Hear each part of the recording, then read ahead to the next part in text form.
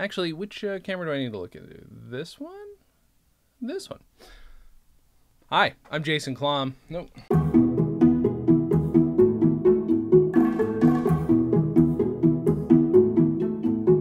Hi, I'm Jason Klamm. I host the Comedy on Vinyl podcast. I run the Stolen Dress Podcast Network.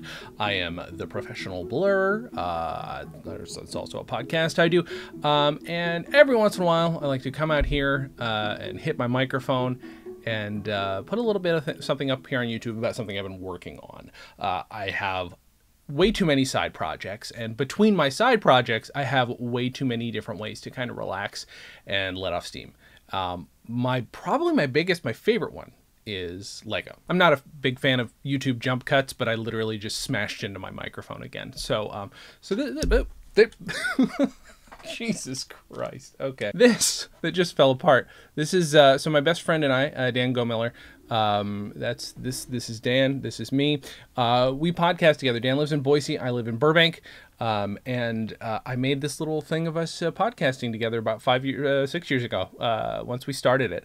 Um, so it's hard to find headphones actually for Lego people. Fortunately, there's one that worked for him. And while I don't wear hats a lot, uh, I, I I put a hat on him on, on me because my hair wouldn't match that one. I've since started wearing more hats, I guess, for verisimilitude, just so I match my Lego guy.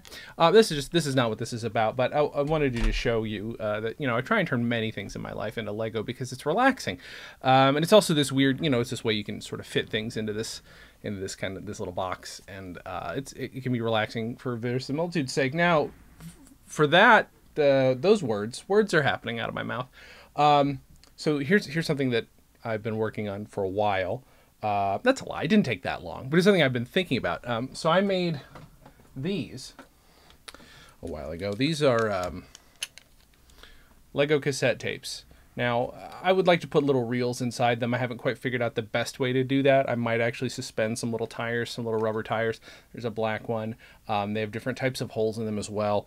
Um, but yeah, so I've got these two cassette tapes made out of Lego. You'll see this one does not. I don't have a, a single, a one by one smooth gray one. So I, I, had a dark. It was very annoying. It's one of the reasons I made a black one, so it'd be uniform.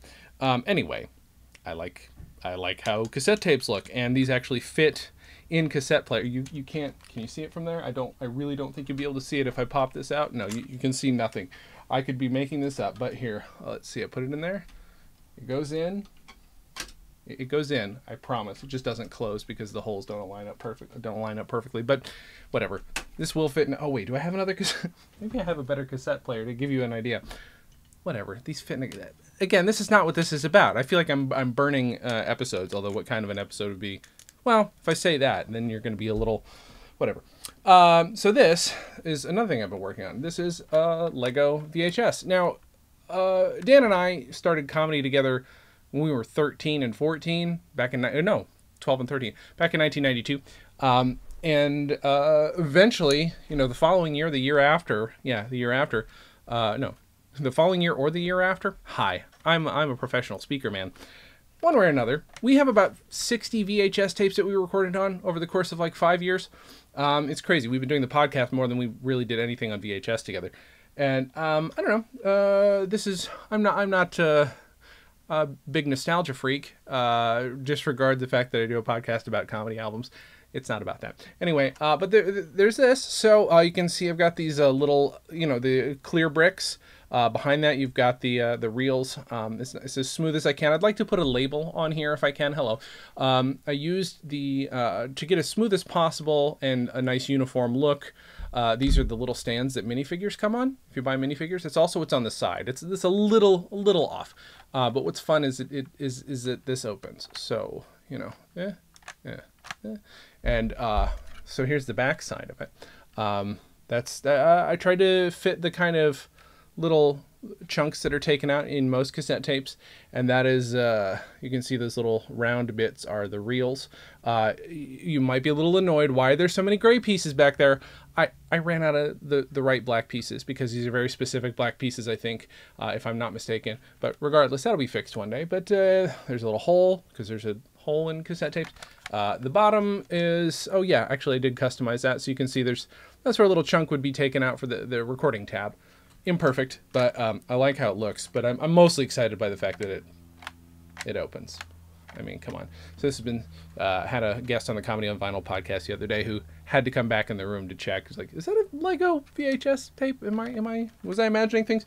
So yeah, and then got the little little little ramp slanty pieces there so that this opens easier because uh, the original version I had kept falling apart. Um, so there, this this is a Lego Lego VHS tape.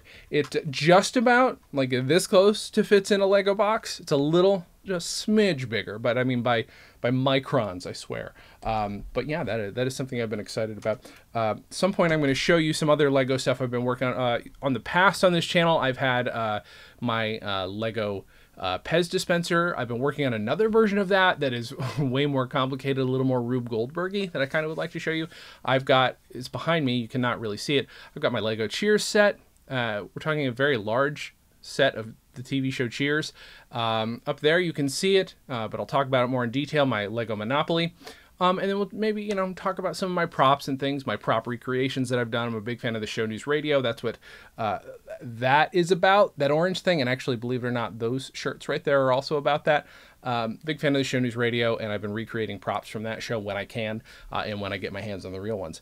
Uh, also working on a news radio set in Lego, but that's going to take a little bit longer. That one's not done. Um, so anyway, I just thought I would show you something that I thought was interesting, and that is, well, uh, several things. But hi, um, I'm a Lego man. I don't glue. See, here's the thing. I don't glue these together. So what happens is they break sometimes. When I say sometimes, I mean, you know, a significant portion of the time if you're manhandling them, uh, person handling them like an idiot.